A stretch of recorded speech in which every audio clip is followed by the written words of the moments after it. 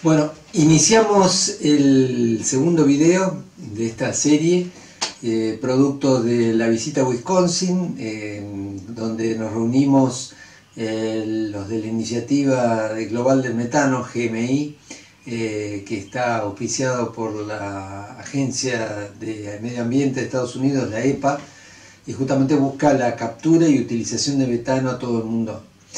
Eh, participamos de esa reunión y del congreso Biocycle. Biocycle es una, revista eh, de norteamericana que tiene más de 60 años, eh, dedicándose a todo lo que es reciclado, compostaje y aprovechamiento de materia orgánica y últimamente con gran énfasis en el tema de biogás y tratamiento. Como parte de esa, de esa conferencia, el último día, eh, se organizó tres visitas técnicas y este video resume todo lo visto, eh, todo lo aprendido en esta segunda visita técnica a un tambo del condado de Dane en Wisconsin, Estados Unidos.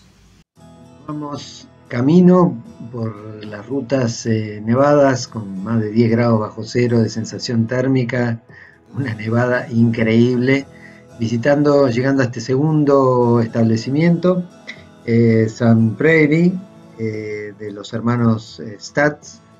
Es un establecimiento que tiene 4.000 vacas en ordeñes en, dos tambos, distribuido en dos tambos, 2.500 en una y 1.500 en otra, tipo stall, confinadas, donde acá estamos viendo, bueno, poco la, origen de la materia prima eh, principal del, digestor. Estos establos eh, se limpian eh, a diario, utilizan máquinas, son como ruedas de tractores horizontales que van limpiando los pisos y van acumulando el estiércol en depósitos o cámaras de recepción que las mismas luego se, eh, se conectan al sistema de bombeo para ingresar en el, biodigestor. ¿no? Ahí estamos viendo el, eh, lo que comentaba acerca de, la máquina que se utiliza y cómo quedan los pisos una vez este, limpios y eh, los animales comiendo del, del otro lado. Bueno, como característica eh, principal, lo que vemos en este establecimiento es un digestor de tipo horizontal, sería como una caja de zapatos enterrada, con una muy fuerte aislación que evita eh, que, eh, cualquier pérdida de gas en este tipo de construcción. Y se caracteriza por tener diferentes cámaras, lo cual internas, o sea, como divisiones internas, lo cual evita que cualquier tipo de material pueda salir del digestor sin mezclarse. ¿no? Ahí estamos viendo parte de eh, la, cobertura de aislación, las tomas de, eh, de, temperatura y de registro de cada una de las cámaras y por arriba las líneas de gas que hay una reinyección de gas para producir este, una agitación interna.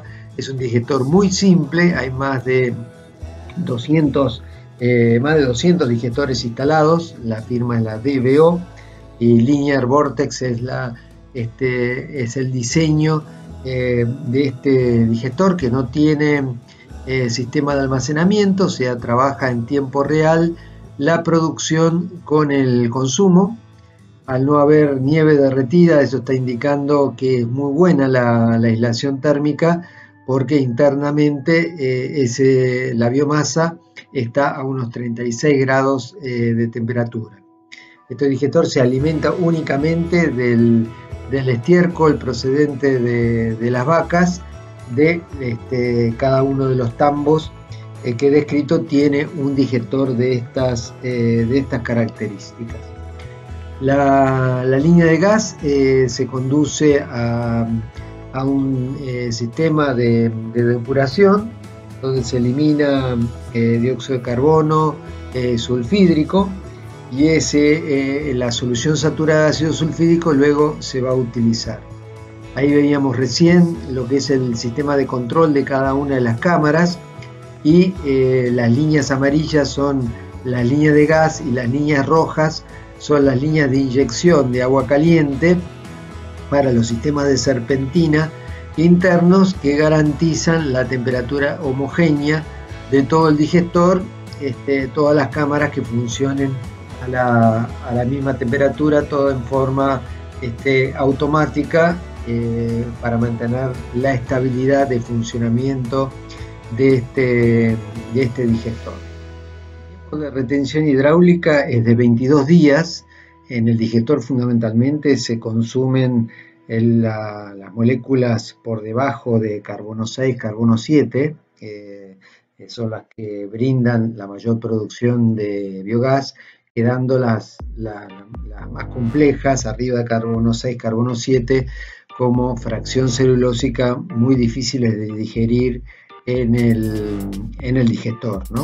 Eh, también se consumen los, este, los almidones que le da como consistencia al, al estiércol.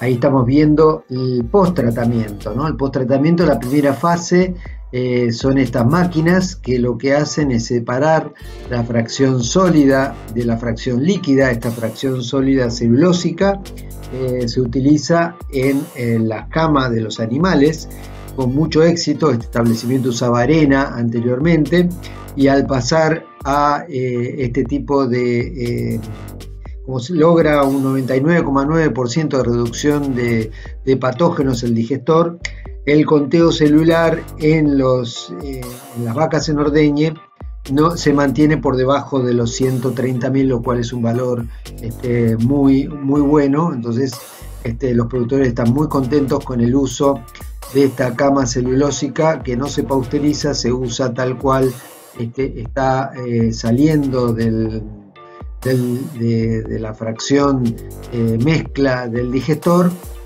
Ahí estamos viendo cómo se conduce y la temperatura que tiene, ¿no? que viene a los 36 grados.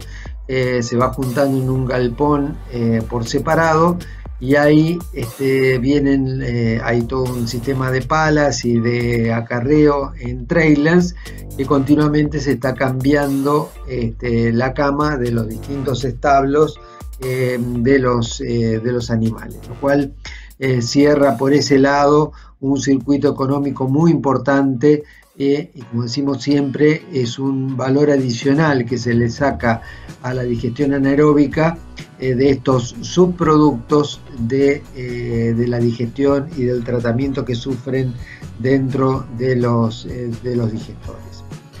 Bueno, por otro lado, ustedes eh, eh, se darán cuenta que eh, se obtiene la fracción líquida. Esta fracción líquida, antes de obtener la fracción líquida, se, hace una acidificación con distintos ácidos.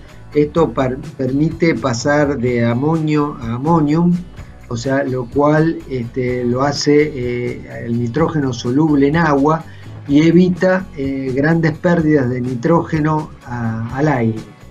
Por lo tanto, se va obteniendo un líquido que luego este, se transforma en sulfato de, amonio y eh, eh, está siendo comercializado y utilizado como fertilizante este, de origen orgánico, reemplazando a fertilizantes químicos. Ahí estamos viendo la laguna final de contención de líquidos postratados que tiene muy baja concentración de fósforo y de, nitrógeno y eh, que es una de las preocupaciones más importantes para evitar contaminación de napas, de lagos, de ríos en, la zona.